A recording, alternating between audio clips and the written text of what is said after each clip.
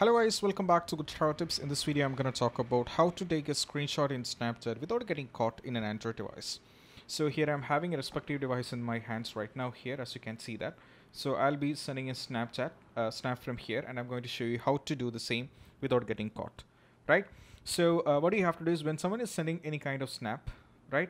So uh, right now I'll be getting a snap over here. As you can see that I got a snap. So now I'm going to show you how to take without getting caught. So guys now let's start with this. First thing what you have to do is just have to open the snap right? Then you have to click on the recent menu at the board over here in the left side. You have to click this.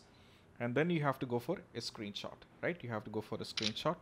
Now you have to select this then uh, as you can see that you can crop it from here itself if you're having any default setup or if you not have you can uh, you, know you can crop it between with any kind of apps which you have right? Respective app.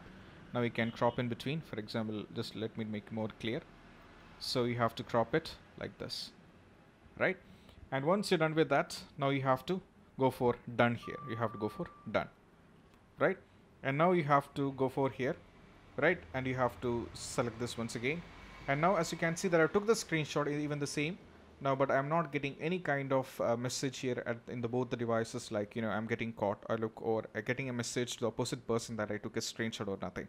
So this is the simplest way which you can take a screenshot and android in snapchat right? So you'll not be getting caught you can take a screenshot of whom you wish right? So that's all about when it comes to how to take a screenshot in an android device without getting caught. If you find this video helpful do let us know in the comment sections and don't forget to share among your friendship circles and don't forget to subscribe our channel and click on the bell icon for the notification. Any kind of suggestions and doubts are most welcome. So our team will get back to you. This is shahan signing off from get tips. See you soon. Peace out. Keep practice social distance. Stay safe and be safe